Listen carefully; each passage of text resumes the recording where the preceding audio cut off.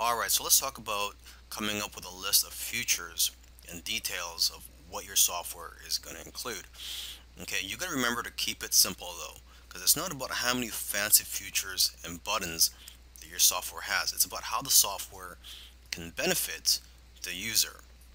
Okay, because sometimes it's the most simple software that can become a best selling product. Okay, but before you can approach a software developer, you must have a list of features and details about the software product you plan to create. Okay, so to get ideas, you can look at other software products uh, in a similar industry.